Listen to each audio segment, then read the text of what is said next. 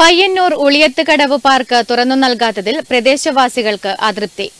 കോവിഡിനെ തുടർന്ന് അടച്ചിട്ട പാർക്ക് ഇനിയും തുറന്നു നൽകാൻ അധികൃതർ തയ്യാറായിട്ടില്ല. പഠനാവശ്യത്തിനും മറ്റും വിദ്യാർത്ഥികൾ ആശ്രയിച്ചിരുന്ന പാർക്ക് അടച്ചിടുന്നത് ജീവൻ കൊടുത്തും സ്വാതന്ത്ര്യം നേടിത്തന്ന മഹാരഥന്മാരെ മറക്കുന്നതിന് തുല്യമാണെന്ന് നാട്ടുകാർ പറയുന്നു. ചരിത്രപ്രസിദ്ധമായ ഉപ്പു സത്യാഗ്രഹത്തിന് വേദിയായ പയ്യന്നൂർ ഉളിയത്ത് കടവിൽ രണ്ടായിരത്തി ആറിൽ ടൂറിസം വകുപ്പാണ് പാർക്ക് നിർമ്മിച്ചത്.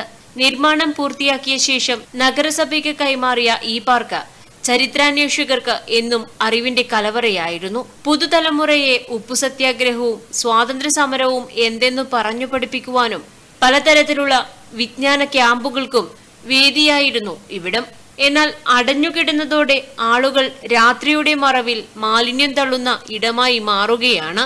മറ്റെല്ലാ വിനോദസഞ്ചാര കേന്ദ്രങ്ങളും ആളുകൾക്കായി തുറന്നു നൽകിയിട്ടും ഈ പാർക്ക് മാത്രം ഇങ്ങനെ അടഞ്ഞുകിടക്കുന്നത് സമീപവാസികളിൽ വേദനയുണ്ടാക്കുന്നുണ്ട്.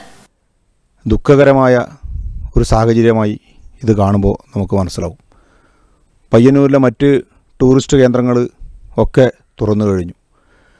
ഇതൊന്ന് തുറന്ന് പ്രവർത്തിക്കാനും അതുപോലെ തന്നെ പയ്യന്നൂരിലെ വിദ്യാർത്ഥികളും മറ്റു മേഖലകളിലുള്ള ആളുകൾക്കും കടന്നു വരാനും അവരുടെ ചെറു ക്യാമ്പുകളും മറ്റും സംഘടിപ്പിക്കുന്ന ഒരു പ്രധാന ഇടമാണിത്.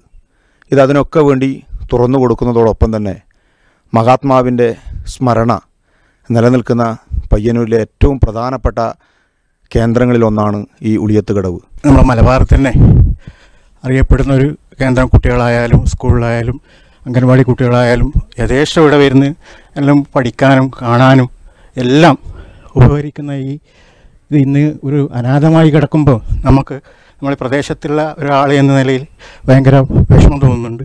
സാമൂഹ്യ വിരുദ്ധരുടെ താവളമായി മാറിയ പാർക്ക് ഇനി ശുചീകരിച്ച് ആളുകൾക്കായി തുറന്നു നൽകണമെന്നാണ് അധികൃതരോട് ഇവിടുത്തുകാർ അപേക്ഷിക്കുന്നത്.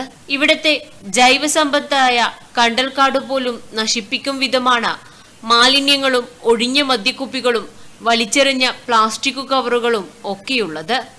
News bureau Payyanur